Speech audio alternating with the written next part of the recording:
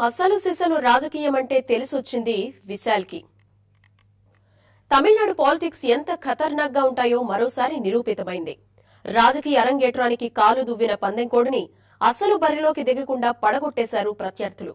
నిన్నంతా జరిగిన హైడ్రామాలో ఆర్కే నగర్లో పోటీకి విశాల్ వేసిన నామినేషన్ను ఈసీ తిరస్కరించడం ఊహించని పరిణామమే. నామినేషన్ వేయడం ఆ తర్వాత తిరస్కరణ ధర్నాలు అరెస్టులు ఫోన్ సాక్ష్యాలు. ఇలా సినిమా క్లైమాక్స్కు ఏమాత్రం తీసిపోని విధంగా వ్యవహారం నడిచింది. ఆర్కే నగర్ నుంచి స్వతంత్ర అభ్యర్థిగా నటుడు విశాల్ నామినేషన్ వేశారు. అయితే ఆయన నామినేషన్ను ఎన్నికల అధికారి తిరస్కరించడం వివాదాస్పదంగా మారింది. విశాల్ నామినేషన్ను ప్రతిపాదిస్తూ వేసిన దేనికి ఫిర్యాదు రావడంతో నామినేషన్ తిరస్కరించారు. ఈసీ నిర్ణయానికి వ్యతిరేకంగా విశాల్ ధర్నాకు దిగారు.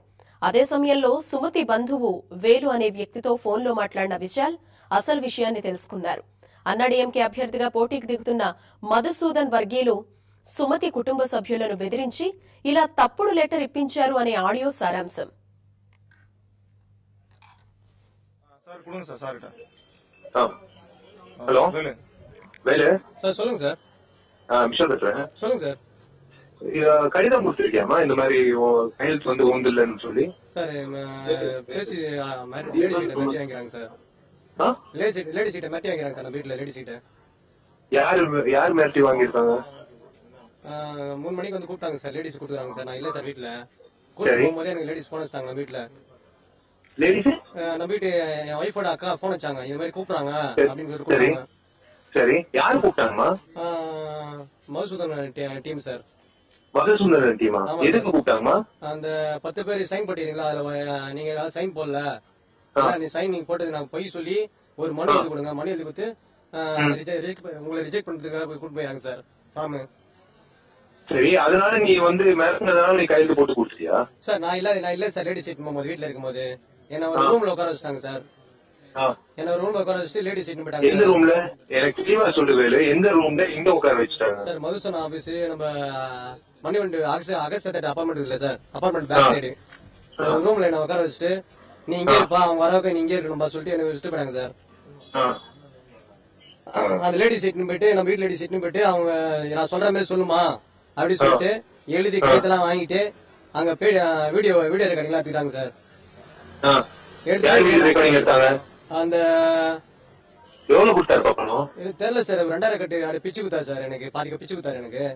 அப்போ நீ பணத்துக்கு வேலை கொடுத்துட்டியா? இல்ல சார் நான் வேண்டாம்னு சொல்லிட்டு சார். இதுக்கு நான் ஒரு பத்து நிமிஷம் நான் வாங்கல சார். நான் இதுமே வாங்க மாட்டேன் சார். அப்படிப்பட்ட நான் இல்ல. என்ன ம். நான் உழைச்சு நான் கரெக்டா நான் சம்பாதிச்சு சாப்பிடுறேன் சார். நானு. எனக்கு இதெல்லாம் தேவைப்படாது? அப்படி சொன்னேன். இல்லப்பா நீ இவரு விசா விசா இது பண்றதுக்காக நாங்க இது பண்றோம். ஏன்னா மனசு கஷ்டம் ஒண்ணும் பிரச்சனை இல்ல. நான் அவங்கள மாதிரி மிரட்ட மாட்டேன். நான் ஒரு ஒரு தடவை அவங்க வந்து என்கிட்ட சொல்ல சொல்ல நிறைய விஷயம். ஒரு தடவை ஒரு வாட்டி இந்த இந்த கையெழுத்து எந்த இல்லைன்னு சொல்லி என்கிட்ட சொல்ல சொல்லுங்க நான் நான் கிளம்பிடுறேன். இல்ல. அவங்க டிவி எல்லாம் போட்ட போறாங்கன்னு சொல்லிட்டு பயனுங்க அழுதுங்கிறாங்க சார் வீட்டுல எனக்கு போன்ல என்னப்பா டிவி இருக்கு. நான் நல்லது பண்ணணுன்றதுக்காக கண்டிப்பா சார் கண்டிப்பா சார் கண்டிப்பா சார். எனக்கு சொல்ல சொல்லு என் மனசாட்சி இருக்கு. அவ அவ- அவளுக்கு ஒரு மனசாட்சின்னு ஒண்ணு இருக்குல்ல எனக்கு சொல்ல சொல்லு அவ அவ வந்து இந்த இந்த கையெழுத்து எந்த இல்லைன்னு சொல்ல சொல்லு நான் போயிடுறேன் நான் உங்களுக்கு நான் உங்களை தொந்தரவே பண்ண மாட்டேன் சரி ஓகே சார் நான் இட்டு வரேன் சார் ஓகே சார் ఆ మొబైల్ ఆడియో రికార్డును ఎన్నికల అధికారులకు వినిపించారు విశాల్ దీంతో విశాల్ నామినేషన్ ఆమోదించారు అయితే మళ్లీ కథ యూటర్న్ తీసుకుంది రాత్రికి ఆ ఇద్దరు మళ్లీ ఈసీని కలిసి ఆ సంతకాలు తమవి కావని చెప్పడంతో ఫైనల్గా విశాల్ నామినేషన్ రిజెక్ట్ చేసింది ఈసీ.